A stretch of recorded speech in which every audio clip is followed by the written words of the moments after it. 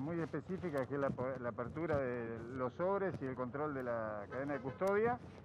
Eh, se mm, abrieron todos los lacrados que había con el, resto de, con respecto a, la sangre, a la orina, sobre el corazón, el cerebro, todo todo lo de vísceras que se tomó.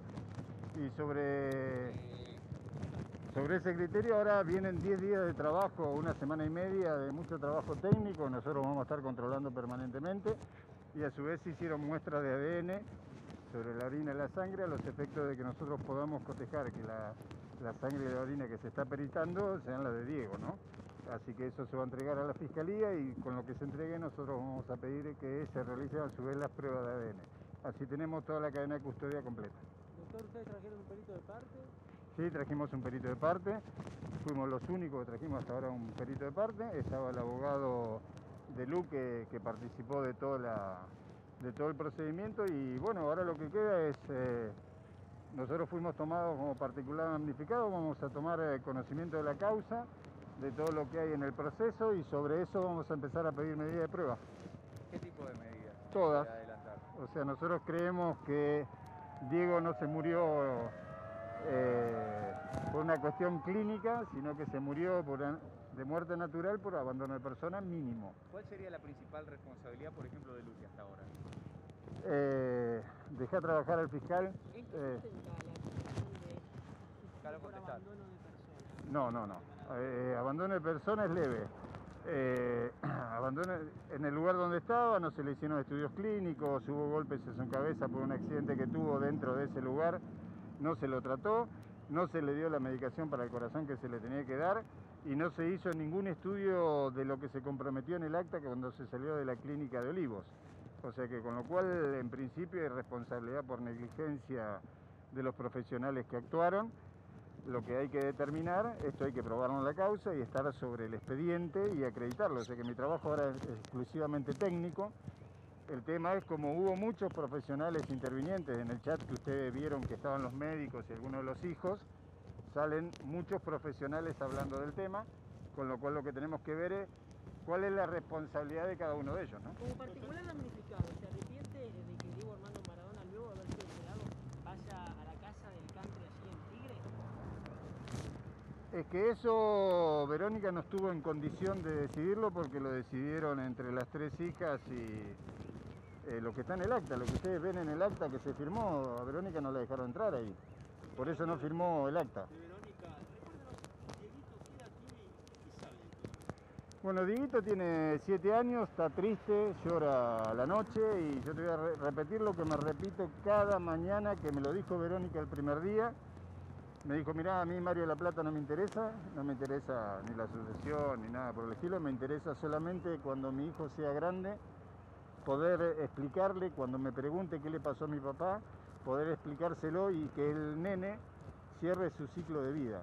Porque a veces cuando perdemos un familiar tan pequeño, los niños, sobre todo con los problemas que él tiene, van a seguir buscándolo. Y él lo que va a querer es darle eh, una respuesta a su hijo para que su, hijo cierre su ciclo de vida y pueda empezar a conocer a su papá leyenda. Porque Diguito conoce a su papá, al que se tiraba, se tiraba en el sillón, apoyaba la cabeza en la pierna y se ponía a jugar a la tablet, o al nene que se tiraba arriba de él a jugar en el pasto, o a su hijo le bastaba con solamente que su papá esté parado y le, tire la pelotita un poquito porque tiene siete años. O sea, su hijo no conoció al Maradona estrella, al Maradona leyenda, conoció a su papá. Entonces, su hijo lo va a seguir viendo a su padre durante muchos años en televisión y en ese contexto, eh, Verónica quiere darle una respuesta. ¿Ya está acreditado, doctor, de que el paciente no había recibido medicación para el corazón, que era clave en el tratamiento para él? Sí, para el corazón y que no había recibido ningún otro tratamiento postoperatorio, no tenía estudios clínicos, no tenía radiografía, no había tomografía, hay un montón de estudios que nunca se hicieron. No lo revisaba un clínico, no lo revisaban los, acompañantes terapéuticos que no estaban. Ayer el doctor Baqué, cuando hablaba de la enfermera, fue muy claro o sea, si Diego hubiera estado en cualquier otra casa del mundo, ya sea acá o en el Palacio de Dubái, hoy estaríamos hablando de otra cosa, nosotros no estaríamos acá, ustedes estarían hablando con Diego de cómo dirigir gimnasia. ¿Tuvo algún tipo de diálogo Verónica Ojeda con las hijas de Maradona?